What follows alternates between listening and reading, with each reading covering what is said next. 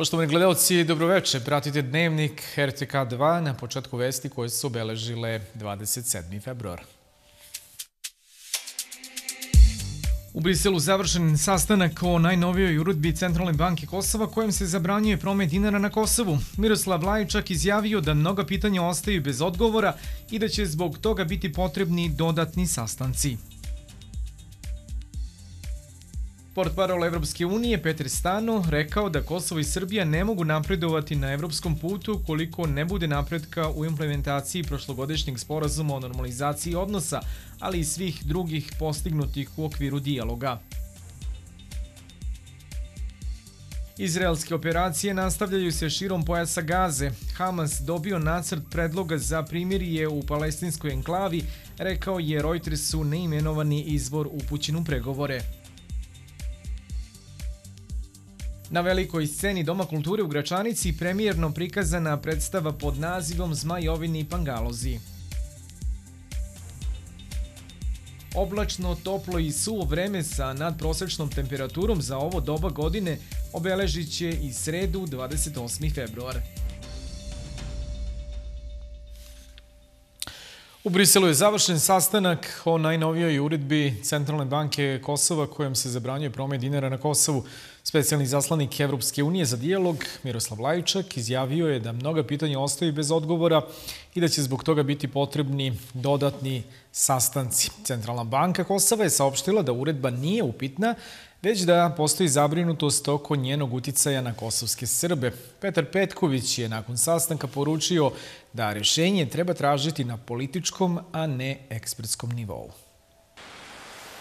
Specijalni zaslanik Evropske unije za dijalog Beograda i Prištine Miroslav Lajčak je nakon sastanka u Briselu o zabrani srpskog dinara naveo da mnoga pitanja ostaju bez odgovora i da će zbog toga biti potrebni dodatni sastanci o tom pitanju u budućnosti. Lajčak je na platformi X napisao da je današnji sastanak bio važan prvi korak. Pozdravljam posvećenost stranaka da pronađu održivo rešenje za zajednice pogođene najnovijom uredbom Centralne banke Kosova. Današnji sastanak u dijalogu bio je važan prvi korak, ali mnoga politička pitanja ostaju bez odgovora. Biće potrebni dodatni sastanci. Centralna banka Kosova je nakon sastanka u Briselu izdala saopštenje u kome se navodi da Evropska unija nije raspravljala niti osporila uredbu koju je donela ta institucija, ali da je zabrinuta zbog uticaja koji može imati na građane srpske nacionalnosti na Kosovu. Kako se navodi u saopštenju, Centralna banka Kosova je tokom sastanka informisala i iznela argumente u vezi sa uredbom o gotovinskim operacijama. Ustavni i zakonski autoritet Centralna banka Kosova i uredba koju je nametnula Centralna banka Kosova nije dovedena u pitanje ili osporavana od strane Evropske unije, Međutim, izneta je određena zabrinutost u vezi sa potencijalnim uticajem na naše građane srpske zajednice. Zbog toga je učešće smatrano neophodnim kako bi se pružilo odgovarajuće pojašnjenje u vezi sa ovim nedoumicama, kao i da bi se praktično argumentovale postojeće pravne i tehničke mogućnosti za transfer finansijskih sredstava. Glavni pregovarač Srbije u dijalogu sa Kosovom, Petar Petković, izjavio je da je današnji sastanak bio težak i dodao da je Beograd njegovim prisustvom pokazao da je voljan da probleme rešava dijalogom i da će kao odgovorna strana Srbija učiniti sve da se dođe do rešenja u razgovorima u Briselu. Istakao je da je jasno da jednostrana odluka vlasti u Prištini i Centralne banke Kosova podrazumeva traženje rešenja koje zahteva politički nivo razgovora. Zato sam ja danas i bio prisutan, ali nije bio prisutan gospodin Bislimi. Posledice takve jednostrane odluke su političke i one utiču na opstanak srpskog naroda na Kosovu. Kada Bislimi kaže da ne treba da dolazi u Brisel jer pitanje dinara nije tema za dijalog, ja ću vam reći da o dinaru i platnom prometu Republike Srbije se nikada do sada nije razgovaralo u dijalogu, ali s obzirom na to da ova odluka udara direktno na život Srba na Kosovu, gazi sam proces normalizacije odnosa. Naravno da će se o tome razgovarati u Briselu, gde će se onda razgovarati ako ne ovde. Naglasio je da će Beograd kao odgovorna strana učiniti sve da se dođe do rešenja u Briselu i istakao da su posebno insistirali da sporni delovi uredbe budu uklonjeni, ali i da banka Poštanska štedionica mora da ostane da funkcioniše na Kosovu. Država Srbija će učiniti sve da na ovaj ili onaj način omogući srpskom narodu na Kosovu primanja, zaključio je Petković. Problemi Srba sa podizanjem dinara na Kosovu nastavljaju se iz dana u dan, na bankomatima ih nema, a građani danima čekaju ispred poštanske štedionice koja jedine još ograničeno isplaćuje dinare i to samo na severu Kosova. Srbi koji žive u opštini Ranilog, koji iz budžeta Srbije dobijaju primanja u dinarima, nisu mogli danas da podignu primanja u pošti u toj opštini javio je RTV Puls, a prenosi Tanjug. Oko stotinak Srba bilo je jutros ispred pošte u Ranilugu, ali nisu mogli da podignu primanja u dinarima. Nekoliko desetina Roma okupilo se ispred pošte Srbije u Gračanici kako bi iskazali protest zbog zabrane korišćenja i nedostatka dinara, međutim razišli su se nedugo po okupljanju jer aktivnost e, nisu prijavili policiji. U srpskim sredinama, južno od reke Iber, dinara na bankomatima i šalterima pošte nema danima.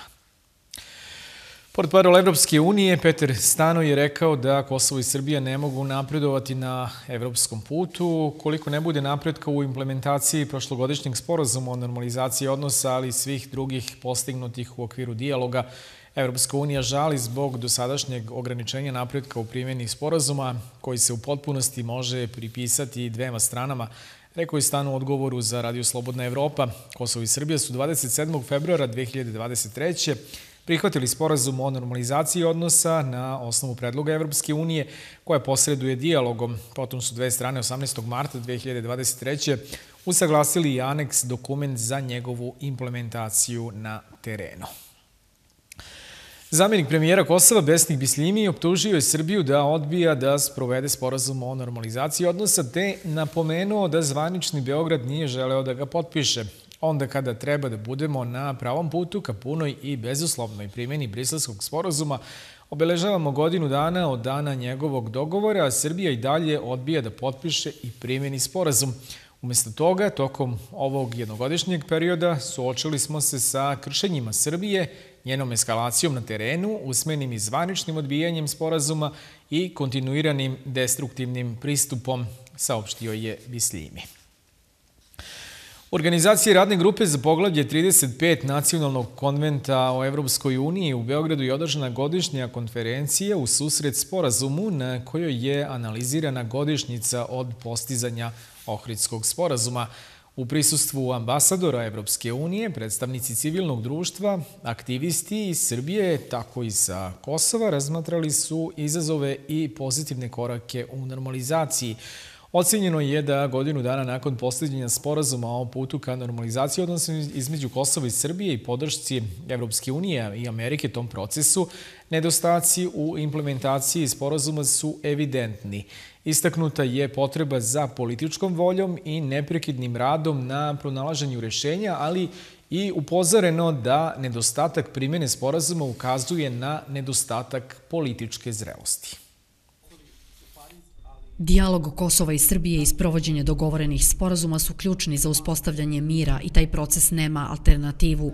Rečeno je na konferenciji radne grupe za poglavlje 35 nacionalnog konventa o Evropskoj uniji pod nazivom U susret sporazumu. Nemačka ambasadorka je poručila da je sporazum o putu ka normalizaciji odnosa postignut kako bi Beograd i Priština mogli da reše važna pitanja koja tište građane. Uspešan razvoj ni Kosova ni Srbije neće biti moguć bez normalizacije odnosa koje je u njihovom interesu. To je u interesu i Zapadnog Balkana i čitave Evropske unije koja je posrednik u pregovorima, ali koja ne može da zameni političku volju koja nam je potrebna od Beograda i Prištine.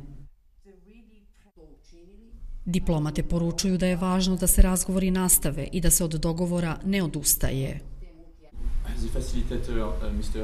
Podržavamo rad posrednika u dijalogu Miroslava Lajčaka. Dijalog je prioritet za predsjednika Makrona i mi se fokusiramo na ovo pitanje. Iako ima izazova, bilo je nekih pomaka u tehničkim pitanjima kao što su registarske tablice. Postoji dinamika i rad na tome treba da se nastavi.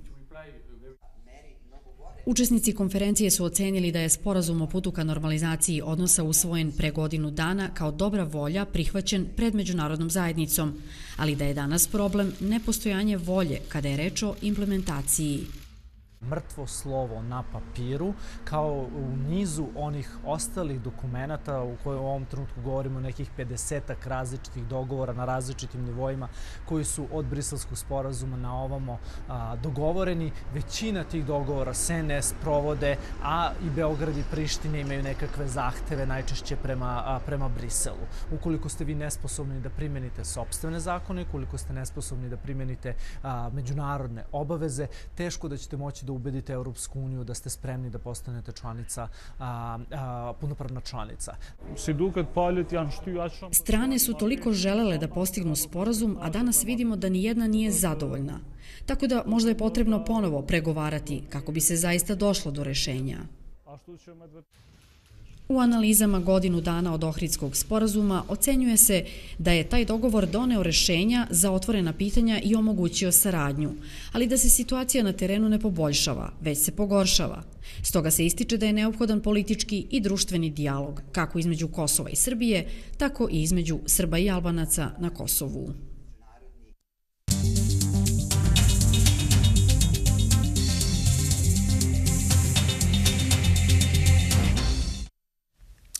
Prošlo je skoro mesec i po dana od kako su građani na severu Kosova potpisali peticiju za smenu gradonačelnika u četiri opštine. Predstavnici civilnog sektora smatraju da proces provere glasova od strane CIKA predugo traje i ima političku konotaciju. Predstavnici nevladinog sektora smatraju da Centralna izborna komisija odugovlači sa procesom verifikacije potpisa za smenu gradonačelnika na severu. Sagovornici RTK2 veruju da vanredni lokalni izbori neće biti održani pre juna meseca sledeće godine. Ako Centralna izborna komisija nije u stanju da verifikuje te potpise, odnosno da ih proveri za koliko meseci i koliko meseci po dana, onda zaista ne znam šta može da, da bude problem u tome. Ja ne bi, ne bi isključio mogućnost da se da Centralna izborna komisija ubrzo izađe sa time da je moguće da fale neki potpisi, pa se onda time kupi vreme još desetak dana. Jednostavno mislim da će aktualna vlast u Prištini pokušati da zadrži vlast na lokalu u severnim e, opštinama, ovim sa srpskom većinom, barim do sledeće godine, kada ti izbori budu i redovni. E, pa koliko vidimo, ovo administrativno upusto koje je donešeno, očigledno nije donešeno da bi se održali izbori, nego da bi se ti izbori prolongirali što je više moguće. E, peticija je odrađena već više od meseci po dana, imamo kako su te peticije predate i nema odgovora Centralne izborne komisije. Navodno još uvek proveravaju podatke iz peticija. Verujte mi, vreme od meseci po dana je sasvim dovoljno da pojedinačno provere svaki, svaki potpis, a ne za nešto drugo. Ne verujem da, da će biti izbora do juna, plašim se da ideja administrativnog upustva uopšte nije bila da se stvore uslovi za, za izbore, nego da se stvori mogućnost da se taj proces odlaže što je duže moguće. Urednica portala Kosev Tatjana Lazarević mišljenja je da će se vanredni lokalni izbori na severu Kosova održati kada i parlamentarni. Pre verujem u vanredne, da kažem, e, opšte izbore nego što verujem isključivo u vanredne lokalne izbore. Ne bi me iznenadilo recimo da se raspišu izbori e, opšti na proleće, pa da se u tom paketu, eventualno na jesen, i u tom paketu da budu lokalni. Meni je, meni je logično da uh, budu zajedno, a eventualno, iako budu ranije, to je isključivo iznuđena odluka, ali iznuđena odluka u kojoj kosovske vlasti, konkretno mislim na vladu, vrlo uspešno prolongiraju proces kako bi gradonačelnicima na severu obezbedili da svoj mandat završe u redovnom roku. Podsjetimo, Centralna izborna komisija Kosova je pre više od mesec dana potvrdila da je primila peticije građana iz sve četiri opštine na severu Kosova za smenu gradonačelnika i tada je odmah rečeno da je za verifikaciju potpisa potrebno vreme. Radoš Petrović i Dušan Ubrenović, koji su bili uhapšeni 29. maja prošle godine u Zvečanu na severu Kosova tokom sukoba Srba sa Kforom, su oslobođeni pošto su sa tužilaštvom postigli dogovor o priznanju krivice za učestvovanje u masi koja vrši krivična dela ili huliganstvo. To je novinarima ispred Osnovnog suda u Prištini potvrdio advokat Azdren Hođa uz pojašnjenje da su ranije odbačena tri krivična dela koja su im se takođe stavljala na teret, udruživanje radi protiv ustavnog delovanja sa ciljem napada na ustavni poredak Republike Kosovo, ugrožavanja lica pod međunarodnom zaštitom i napada na službeno lice. Pred posebnim odeljenjem Osnovnog suda u Prištini danas je nastavljeno i suđenje Miloradu Đokoviću iz Vitomirice kod Peći, koga Kosovsko tužilaštvo tereti za navodni ratni zločin počinjen 98. i 99. godine na Kosovu. Branilac Milorada Đokovića, advokat Vasilije Arsić, izjavio je nakon saslušanja svedoka da je ocena odbrane da tužilaštvo nije obezbedilo jake materijalne dokaze kojima će dokazati krivicu Đokovića. Nedavni događaj u Lapljem selu u blizini srednjoškolskog centra zabrinuo je stanovništvo Gračanice i okolnih mesta sa većinski srpskim stanovništvom. Redki su meštani sa teritorije opštine Gračanica koji su hteli da govore o trenutnoj bezbednostnoj situaciji. Isto mog tasta su pre neki dan neko veče opljačkali, uzeli su mu tašnicu i 800 evra. Znači ljudi ovde nisu sigurni, treba policija malo više da radi, malo više da obraća pažnju na sve naše građane ovde. Nije baš tako slatko, nije ni u Mitrovici dobro, ni u Zvečanu, ali nije evo i ovde u centralnom Kosovu. Svašta se dešava od tih krađa, pa incidenata, pa tuče, pa eto to što ljude zatvaraju. Situacija je stabilna ali krhka, ocenjuje predsednik lokalnog odbora za javnu bezbednost u Lapljem selu i Čaglavici. Za bezbednostnu situaciju nakon nemilog događaja koji se desio u subotu u večernjim satima gde su četvoro nepunoletne dece čekali jednog od roditelja od, te dece. Ne išlo je neko vozilo koje ih je malo uznemirilo i samim tim uznemirilo je čak i sve nas. Ali ne možemo tu situaciju, na primjer, da karakterišemo toliko lošom, jednostavno možemo da kažemo da je možda stabilna, ali krhka.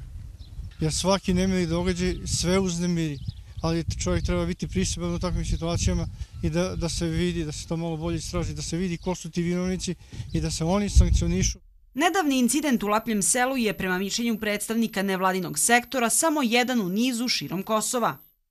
To je stvarno zabrinjavajuće, pogotovo danas u 21. veku u Evropi, da neko jednostavno ne može bezbedno da hoda ulicom i da ide od svoje kuće do kafića, do sportskog terena ili gde god, to je stvarno zabrinjavajuće. I eto, pozivam sve koje tu imaju barem malo utice na to da barem povećaju stepen i patroliranja i, i stepen obilaska tih srpskih mesta, da li je to KFOR u pitanju, da li je to policija, kako bi preventivno delovali i, i sprečili neke ovakve stvari i naravno sprečili nešto što bi moglo da dođe u slučaju ako se ništa ne uradi po ovom pitanju. Uzimajući obzir i prethodne incidente i ovaj incident koji se desi u Lapljen selu, sigurno ne uliva neko poverenje niti omladine, niti roditelja, da ostanu ovde i da će se nešto na bolje promeniti. A to je uvek ono najbitnije da, mislim, za naš opstanak ovde kao srpske zajednice jeste da živimo barem nekad u miru, međutim to nikako da se nekako, da dođemo do tog mira. Naši sagovornici su saglasni da se slični incidenti ponavljaju iz godine u godinu i da bi veće prisustvo policije i angažovanje predstavnika međunarodne zajednice doprinalo poboljšanju celokupne bezbednostne situacije. Zbog pretnji pripadnicima KFORE dve osobe su uhapšene u selu Ljubičevo kod Prizrena, saopštila je kosovska policija. U dnevnom izveštaju policije navodi se da su dve osobe uhapšene pošto su u jednom ugostiteljskom lokalu pretile smrću pripadnicima KFORA. Odlukom nadležnog tužioca određeno im je policijsko zadržavanje od 48 sati. U kampu Bonstil u blizini Uroševca danas je održana ceremonija promene komandujućeg e, e, regionalne komande KFOR-a Istok predvođene Sjedinim američkim državama. Primo predaja zastave NATO izvršena između odlazećeg komandanta pukovnika Keneta Vokira i novog komandanta pukovnika Jasona Bakera. Komandant KFOR-a, general major Oskan Ulutaš, poželeo je pukovniku Bakeru uspešan mandat, e, ističući potpuno uverenje u sposobnost novog američkog osoblja da nastavi da regionalna komanda Istok ostane osnovni stup misije KFOR-a širom Kosova.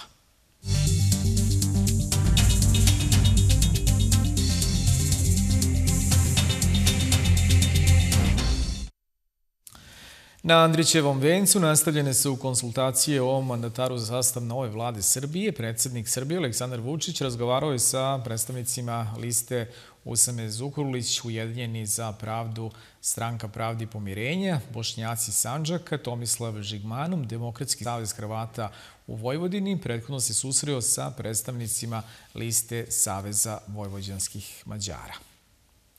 Ministar odbrane Ejup Mađedonci saopštio je da Kosovo nastavlja da daje doprinos obuci ukrajinskih regruta. Pored Ujedinjenog kraljevstva, Kosovo kao država učesnica u operaciji Interflex nastavlja da doprinosi obuci ukrajinskih regruta preko instruktora KBS-a. Do sada je u ovoj operaciji obučeno 34.000 regruta, naveo je Mađedonci u objavi na Facebooku. Samit Ukrajina, Jugoistočna Evropa održat će se u Tirani 28. i 29. februara, a učestvovat će 13 zemalja Jugoistočne Evrope koje će predstavljati premijeri i predsednici. Kosovo će na samitu predstavljati predsednica Vjosa Osmani, rekao je za RTK savjetnik za medije Bekim Kupina. Očekuje se da ukrajinski predsednik doputuje u Tiranu 27. februara uveče, dok će 28. u sredu učestvovati na samitu kojem će prisustovati neki od najviših zvaničnika Brisela, kao i lideri iz zemalja Zapadnog Balkana i jugoistočne Evrope. Srbiju će predstavljati predsednik Aleksandar Vučić.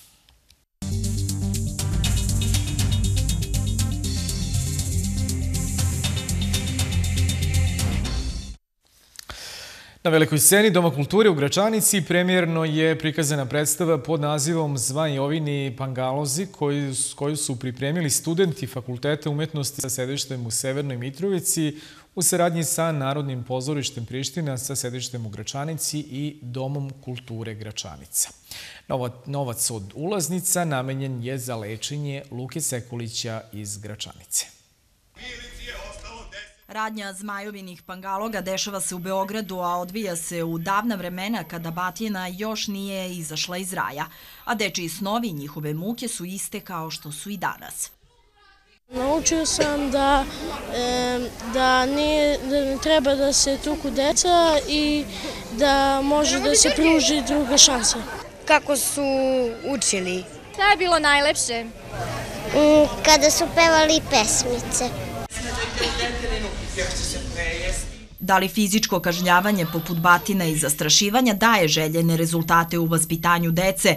Ili je to nepopularna mera koja podstiče veće dečije nestašluke, postakla je tekstopisca Ivanu Dimić i reditelja Igora Damjanovića da za najmlađu publiku pripreme ovu pozorišnu predstavu.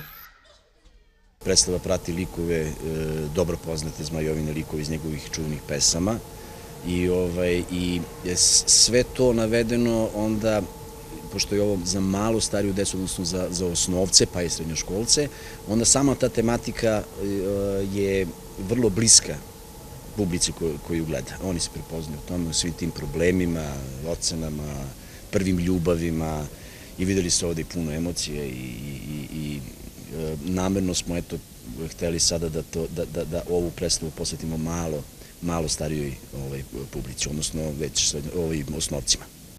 U Zmajovinim pangalozima uloge tumače Nikola Stanković, Miloš Mitrović, Slaviša Ćuković, Tamara Stojanović, Nikola Marković, Nikolija Tričković, Filip Paprić i Vuk Simović iako je to radnja koja se događa školski 1877-78.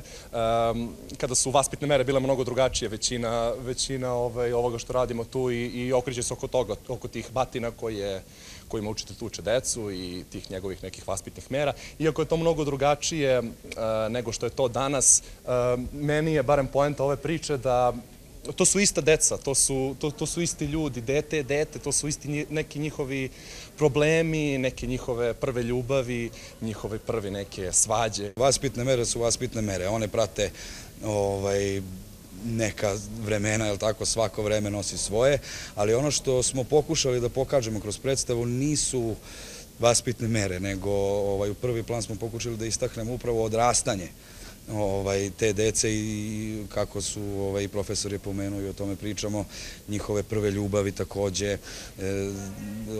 pokušali smo da pokažemo jednostavno život dece, kakav je daje, kakav je bio onda i vrlo se pronalazimo i u tome kakav je i sad. Predstava je nastala kao rezultat saradnje Narodnog pozorišta Priština sa sedištem u Gračanici, Fakulteta umetnosti sa sedištem u Severnoj Mitrovici i Doma kulture Gračanica.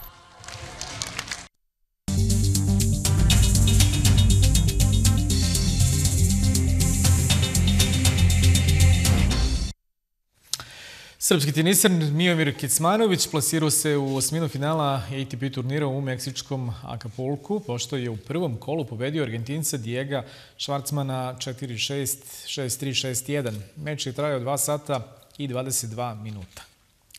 Selektor košarkaške reprezentacije Srbije Svetislav Pešić rekao je posle pobjede nad Gruzijom da su dva triumfa na startu kvalifikacije za Eurobasket velika motivacija za njegove igrače pred olimpijske igre. Košarkaši Srbije pobedili su ekipu Gruzije rezultatom 76-63 u meču drugog kola kvalifikacija za Eurobasket.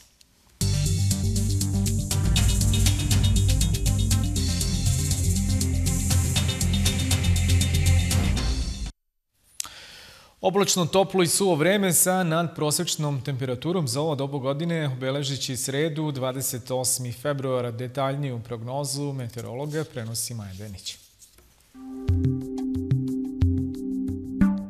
Poslednji februarski dani nam donose smenu sunca i oblaka.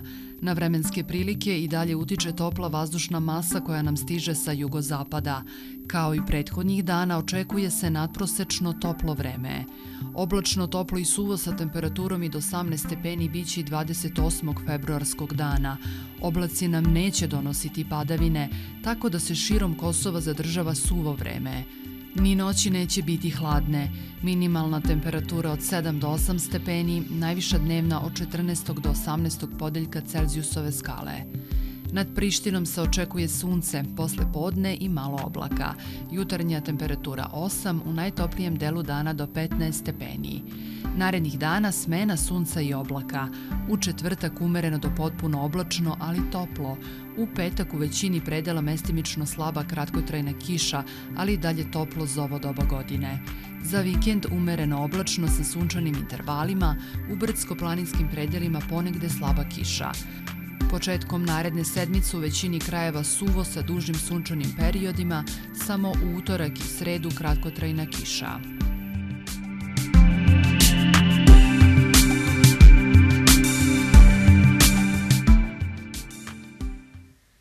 Informacijom o vremenu završavamo večerašnje izdanje Dnevnik. Hvala na pažnji i ostanite uz program RTK 2.